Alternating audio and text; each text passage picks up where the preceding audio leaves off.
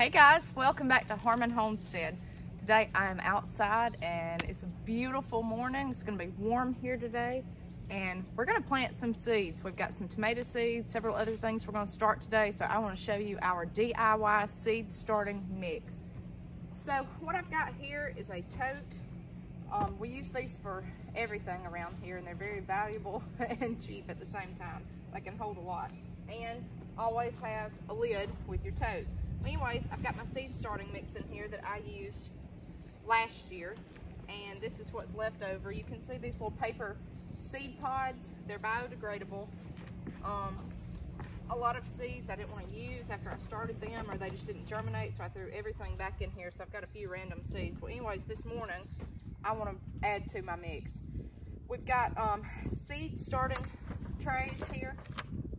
This holds 40 and it also has a bottom to hold water for a water reservoir and a clear top dome to put over it until your seeds sprout. The dome will raise the heat for these seeds and get the seeds to germinate. So it'll be warmer inside of this bin when light hits it.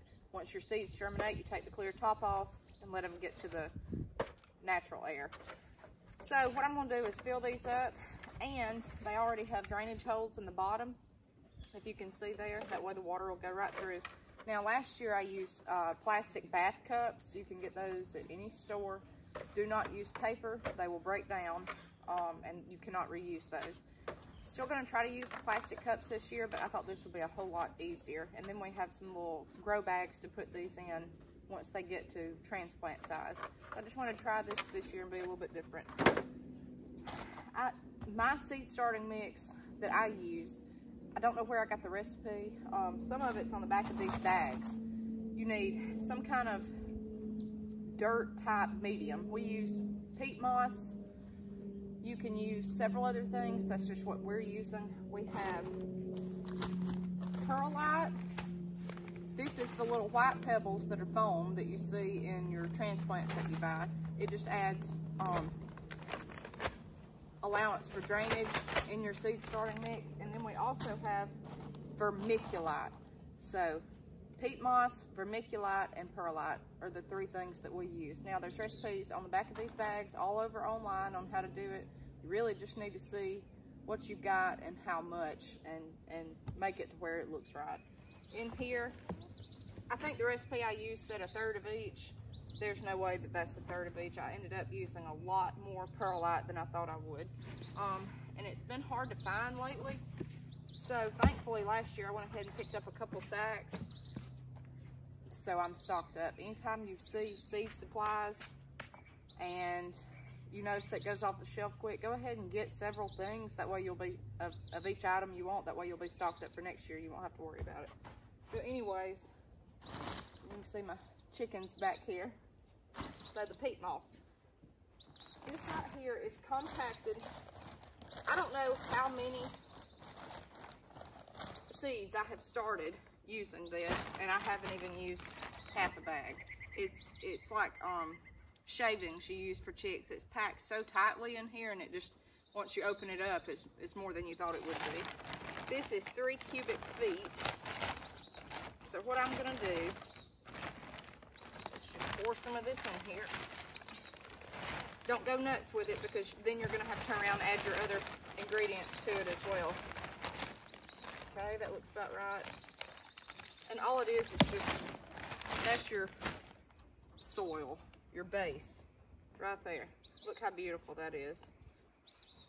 This is the cheapest way to go for us.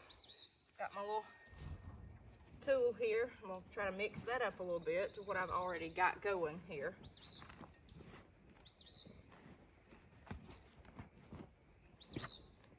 Just really mix it up. And in this tote, I can just put the lid on it and it stays completely dry and it's ready for any time that I want to start seedlings.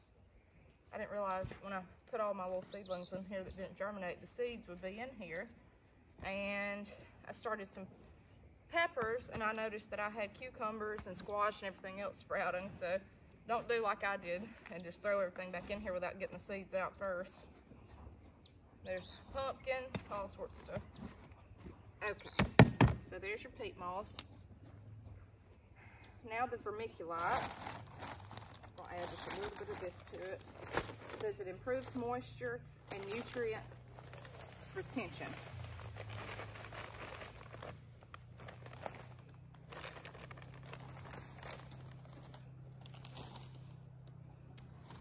And then, oh, perlite here. And you can see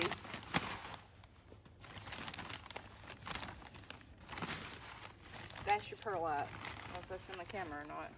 But you know what that is. You've always seen it, but probably didn't know the exact term for it.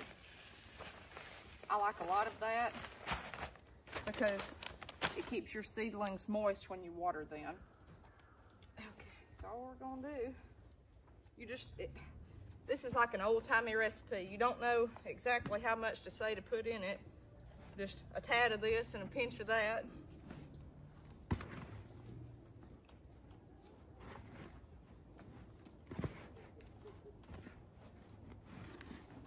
and this stuff will last you. You see how much I used out of each bag. I still got the whole thing here. This will be enough to probably do every seedling that I'm going to start this spring, and we do a lot.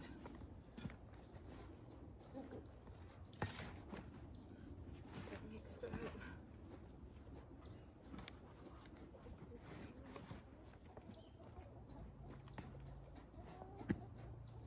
Okay, that looks about right to me.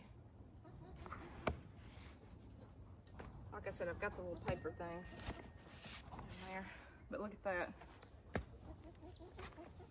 That's your seed starting mix right there. Okay, so now we're gonna fill in our seed trays. Yeah, are y'all running around? You can leave the bottom up under it, or you can take this little trays out. I guess I'll take it out. And I'm just gonna scoop this into this tray and level it off, and that's it. Yeah, you want to plant some seedlings. And please, check your last frost date and check your calendar because it's it's here guys. We're in zone 8a and it's we're we're on the exact borderline where we live 7b 8a we're technically 8a today well yesterday valentine's day was the first day to start tomato seedlings. Easter is late this year. Easter is april the 17th mid late april we never plant anything here until after Easter. There's always a cold snap right before Easter. But it's time to go ahead and get this stuff starting and ready. Depending on Easter every year, we may wait a little bit. Like last year, I started my tomato plants a little bit earlier than what the um, internet recommended because Easter was early last year. And I knew that warm weather was coming. So keep a watch on your Easter date if you live in zone 8A, 7B, and go ahead and see what you can be starting. Yesterday was first day for broccoli, cabbage, cauliflower, tomatoes, and several other herbs. This year we're doing herbs.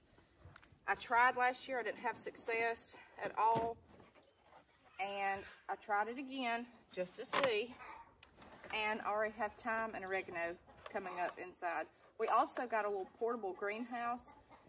Waiting to see how that does. I planted jalapeno seeds in it several weeks ago. I've not gotten any germination, but everything's warm inside of the little greenhouse. So we'll see how that goes. I'm not going to recommend it until I see my own results.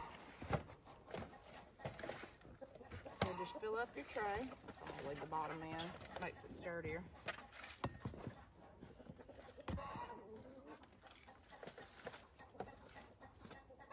But this will save you instead of buying bags and bags of seed mix.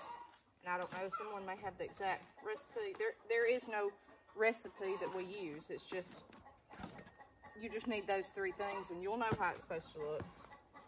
There's really no way to screw it up. And just kind of rake, rake it over to make it level. If you got too much, that's fine. It'll just rake it off.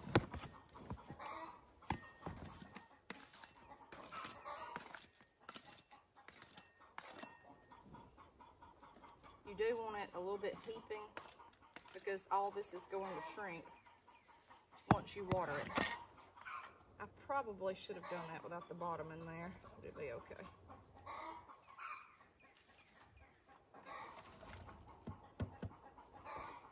I don't waste one bit of that. Okay, so there's our seed starting trays. Now all we're gonna do is poke our little finger down in there, make a little hole. You can use a pencil if you don't wanna use your finger. Drop your seed in it, cover it up, water it, put the dome on it until they germinate, then take the dome off. That's that's what we're doing. Um, you don't even need the dome. If you're doing this inside, it's warm enough really without a dome, just like the plastic cups. I didn't have a dome on each one of those, they just grew. But that's what we're doing this year, and let's plant some tomato seeds today. See you next time on Harmon Homestead.